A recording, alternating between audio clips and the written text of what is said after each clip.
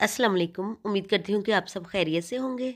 आज मैं आपके लिए बहुत ज़बरदस्त, बहुत मज़े के वेजिटेबल रोल्स की रेसिपी लेके आई हूँ। तो चलें इसे बनाना स्टार्ट करते हैं। बिस्मिल्लाहिर्रहमानिर्रहीम। सबसे पहले हम इसकी डो तैयार कर लेंगे।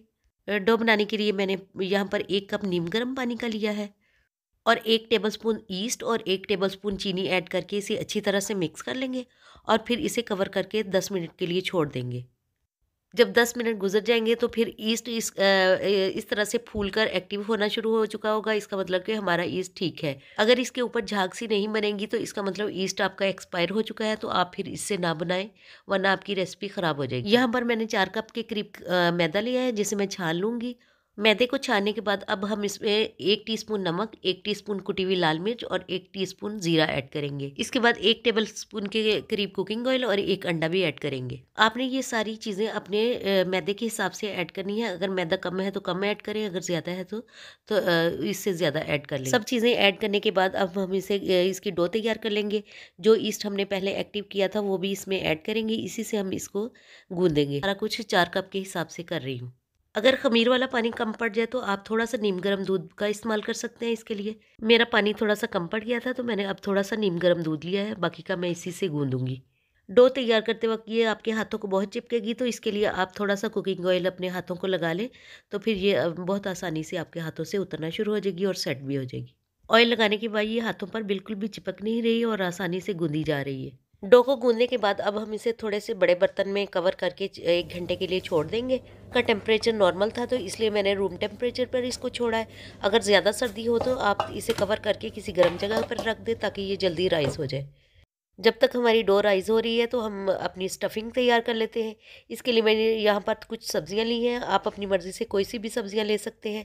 सबसे पहले मैं मटरों को बॉईल कर लूँगी और थोड़े से आलू जिन्हें मैंने कद्दूकश किया था, जब मटर उबल जाएँगे तो उसके बाद हम इसमें आलू ऐड करेंगे और इनको भी थोड़ा सा बॉईल कर लेंगे। आलू और मटर बॉईल करने के बाद यहाँ पर मैंने एक पैन में थोड़ा सा कुकिंग ऑयल लिया है, तकरीबन एक टेबल स्पून के करीब। इसके बाद जो मेरे पास कटी हुई सब्ज़ियाँ थी, सारी की सारी वो मैं इसमें ऐड कर दूँगी। सब्जियों में मैंने बंद गोभी, आलू, मटर, शिमला मिर्च और हरी मिर्चें ऐड की हैं। आप अपनी मर्ज़ी से कोई सी भी अपनी मर्ज़ी की सब्ज़ियाँ ऐड कर सकते हैं। लेकिन इस तरह की चीज़ बनाने में यही ज़्यादा अच्छी लगती है। इसके अलावा आप अपनी मर्ज़ी की कोई भी स्टफिंग बना सकते हैं, मसला चिकन की या बीफ की या मटन की कोई सी भी। सब्ज़ियाँ ऐड करने के बाद अब अब मैं इसमें एक टीस्पून ज़ीरा ऐड करूँगी और एक टीस्पून ही नमक। और जो आलू और मटर हमने बॉईल किए थे, वो भी इसमें ऐड कर देंगे और फिर इसे थोड़ा सा फ्राई करेंगे। हमने सिर्फ़ इन्हें इतनी ही देर तक फ्राई करना है कि इसका बंद गोभी का पानी अंदर से थोड़ा सा ड्राई हो जाए और थोड़े ड्राई से हमारी स्टफिंग तैयार हो जाए। बाकी आलू और मटर तो हमारे पहले से ही बॉयल है। रेडी करने के बाद अब हम इसे ठंडा करने के लिए छोड़ देंगे। दूसरी तरफ़ हमारी डो भी रेडी हो चुकी है। डो को बर्तन से निकालने के बाद अब हम इसे थोड़ा सा दोबारा मल के गूंद लेंगे। इसके बाद इसके पीसेस करेंगे और इसके छोटे छोटे पेड़े बना लेंगे। पेड़ों का साइज़ हमने बहुत छोटा रखना है ताकि हमारे रोल बहुत मोटे ना बने। इसके बाद हम इसे लंबाई वाली साइड पे बेल लेंगे। रोटी को हमने गुलाई में नहीं बल्कि लंबाई रुख बेलना है और इसके बाद पिज़्ज़ा कटर या छुरी की मदद से लंबाई की रुख बारीक बारीक काट लें।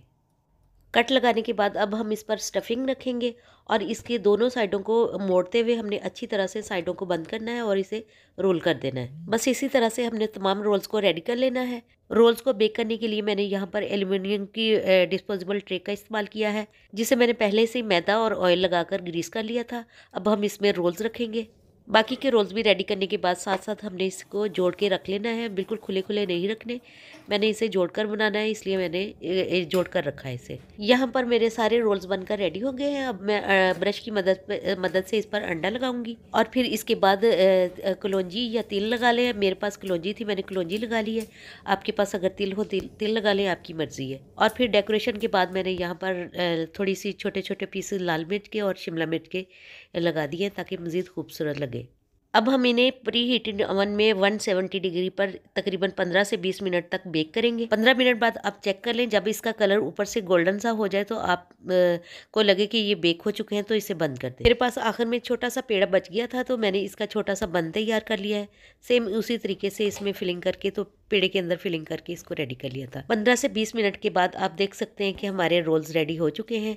अब आप इसे छुरी की मदद से हाथ या हाथ की मदद से अलग अलग भी कर सकते हैं। ये देखें बन भी रेडी हो चुका है। देखने में ये भी बहुत खूबसूरत लगता है। आप अपनी मर्ज़ी की कोई भी इसे शेप दे सकते हैं। मुझे ये शेप अच्छी लगी थी तो मैंने इसकी ये शेप बना ली। तो ये थी मेरी आज की रेसिपी उम्मीद है कि आपको ज़रूर पसंद आई होगी। और अगर पसंद आई हो तो वीडियो को लाइक कर दें और अपने फैमिली और फ्रेंड्स में भी ज़रूर शेयर कीजिएगा।